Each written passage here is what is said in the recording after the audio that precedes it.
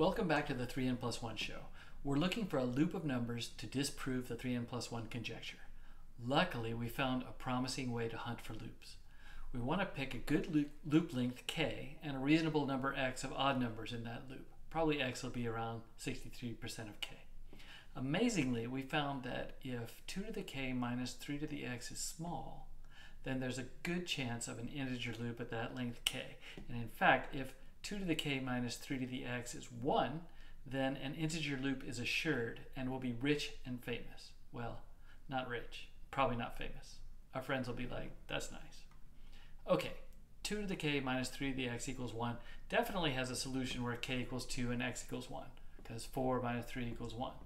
So here's the 3n plus 1 computer for k equals 2, x equals 1.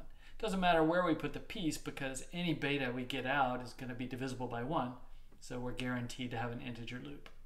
And so the fact that 2 to the x minus 2 to the k minus 3 to the x equals 1 here is directly responsible for our old friend, the 2, 1, 2, 1 loop. What about other solutions to 2 to the k minus 3 to the x equals 1? During the Middle Ages, someone named Gersonides peered all the way down the number line and announced that there are no other solutions. I didn't look at his proof, but I figure if this guy could do it in the Middle Ages, I can give it a try. So 2 to the k minus 3 to the x equals 1 means 2 to the k minus 1 equals 3 to the x, which implies 2 to the k minus 1 would have to be divisible by 3 and nothing else.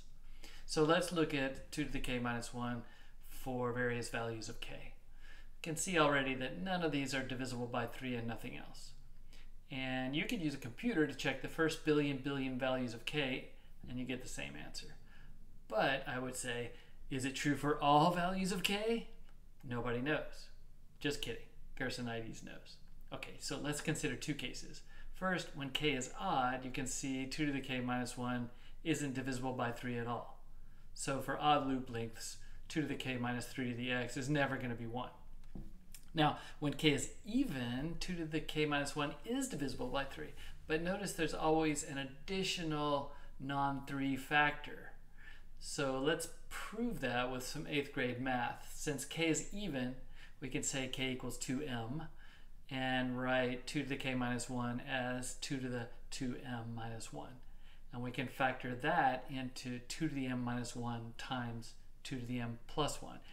One of these factors is not divisible by 3 because they're 2 apart. So we've proven there's an additional non-3 factor. So considering both cases, odd k and even k, we've got an airtight proof. Thanks Gersonides for providing the confidence.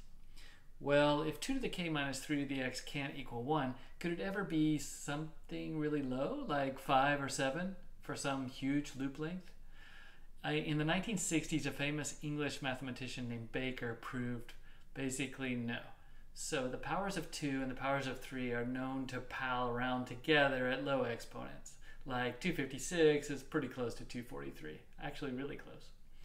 But as the exponents get larger, the powers stop being friends. And way down the number line, the powers of 2 and the powers of 3 position themselves further and further apart from each other. Baker's proof describes roughly how far apart, but the proof involves dozens of pages of transcendental number theory.